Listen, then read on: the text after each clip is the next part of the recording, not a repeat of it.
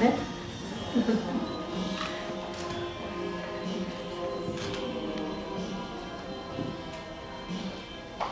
We have another powder that's very popular, our light reflecting powder, which also comes in mousse as well. I love this for touch-up.